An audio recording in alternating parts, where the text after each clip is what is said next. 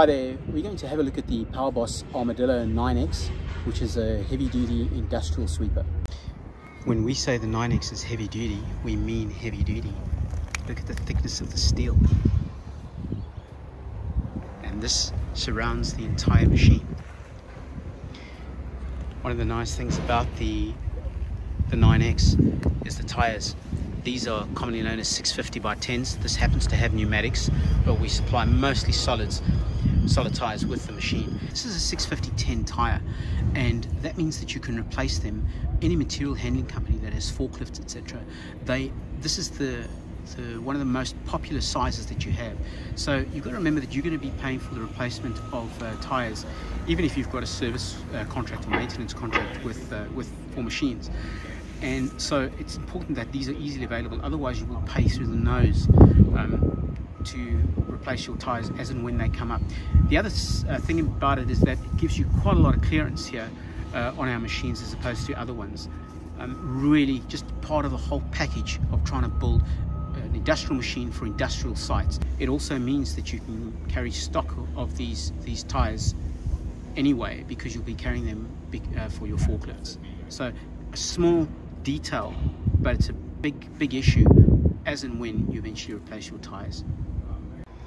As we go through the Hako PowerBoss uh, 9X, we'll see some interesting features which are unique to it. But the best way to think about a sweeper is in terms of a human body. So you have a heart, which would be the engine. You would have the lungs, which is the ability of the of, of the machine to collect as much dust as possible, to breathe, I suppose. Um, you'd have the brain, which is the control element or the operator. How easy it, is it to operate? and you'd have the stomach in terms of how much the machine can hold.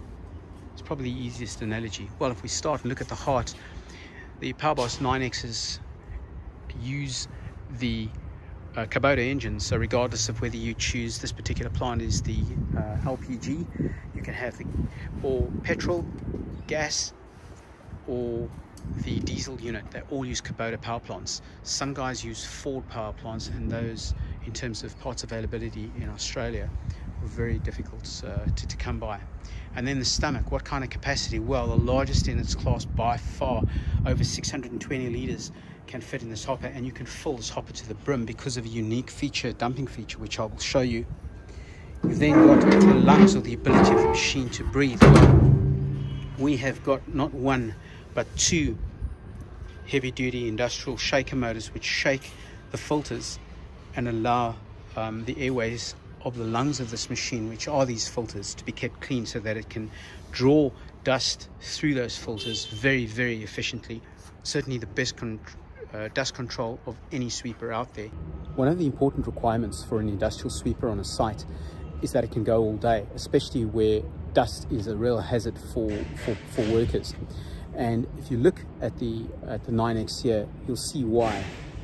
So I'll just show you in terms of the hydraulics which drive your brushes, which drive your vacuum fan, which drive the actual drive of the, the, the machine as well, um, how well cooled that is. So you can see how substantial the radiator is. You've got for water cooling over here, and then you've got for hydraulic uh, cooling over uh, on, on the side of the radiator. And it's not just one of those thin, cheap radiators. This is a substantial radiator, which means that you could run basically 24-7 with this unit and you would never uh, overheat.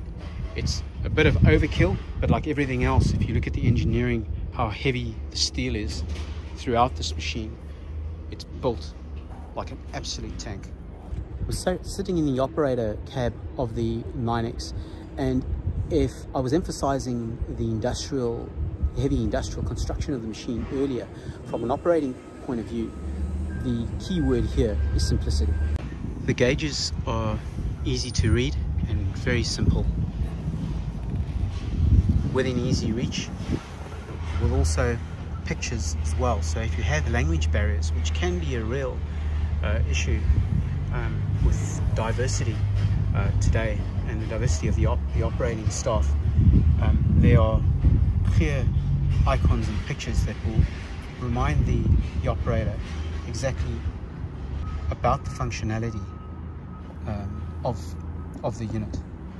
So very simple and you'll notice that there aren't a lot of electronics here because all of this uh, is exposed really to the elements normally unless you have an air-conditioned cab and so simplicity for people that want quite an industrial quite a mechanical um, unit the 9x is, is, is the unit to, to go for.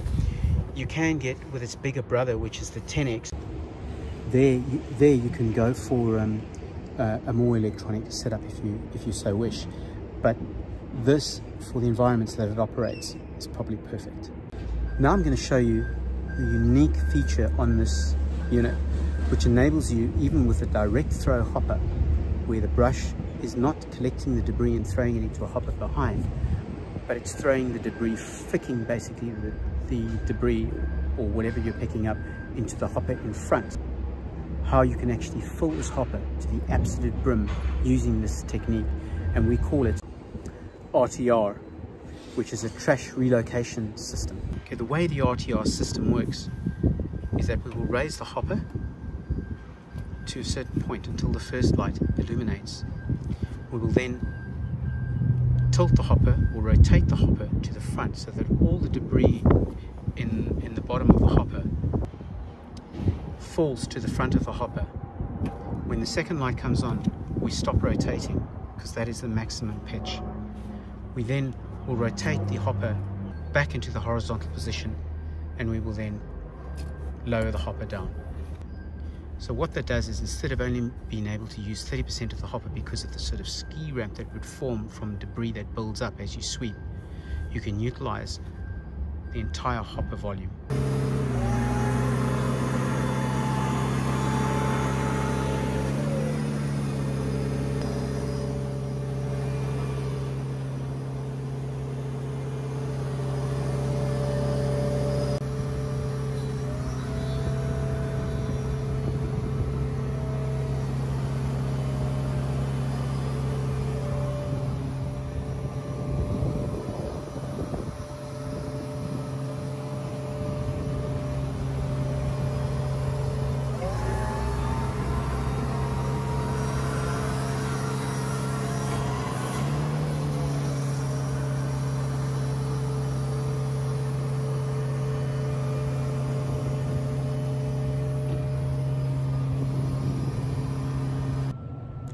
Even if you have a great demo, sometimes the most difficult people to deal with are the guys in the workshop.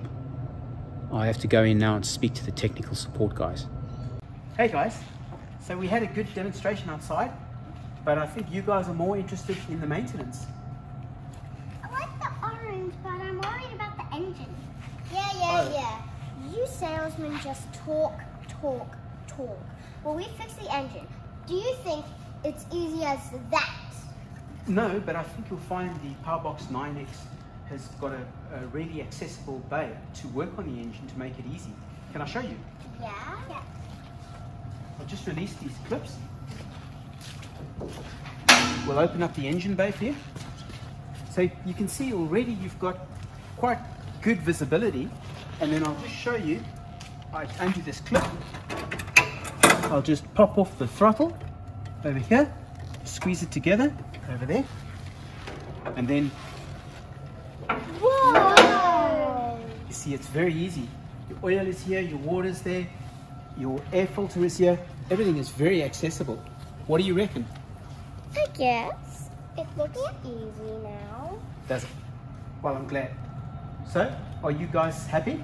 Yes, yes. we're very happy. But I have a little bit of questions. Well, I'm not worried about the engine anymore because you already showed us about the engine now. I agree with her. Okay, great. Well, thank you very much for your time, and it's been good to meet you guys. What's your name again?